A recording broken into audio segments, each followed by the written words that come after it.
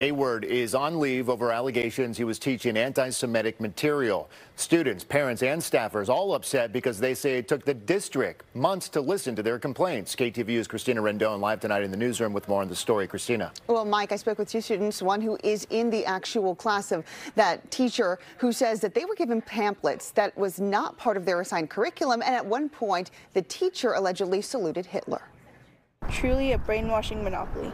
Mildred Vasquez reads part of an excerpt from a book called The Hidden Tyranny. She and her friend, Rushida Verma, say the text was assigned to sophomores at Mount Eden High School in Hayward.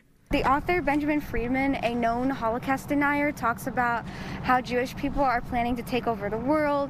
It says that they are controlling the media and that they're responsible for the United States getting involved in World War II. It just sounds so um, out of touch. The girls say teacher Henry Bens asked students to read the text and make annotations. He said, like, what if I came up, came to school, you know, and I did the Hail Hitler salute, and he proceeded to actually do it, and that was, everyone gasped. We're told complaints were made to administration and the Anti-Defamation League in December. This text is one of the most virulently anti-Semitic texts in existence, and to us, it really seemed like this teacher was giving a master class in anti-Semitism to students at Mount Eden High School. Even here in the Bay Area, we are not immune to this rise in anti-Semitic behavior. The students estimate roughly 80 to 100 students were given the lesson and complaints continued in January. They say it wasn't until a school board meeting last week that Bens was placed on administrative leave.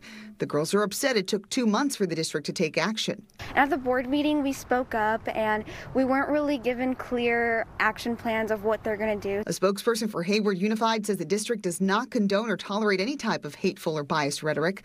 Part of a statement reads, quote, hatred and discrimination in any form has never been welcome in our district. This teacher tells us students have had different experiences.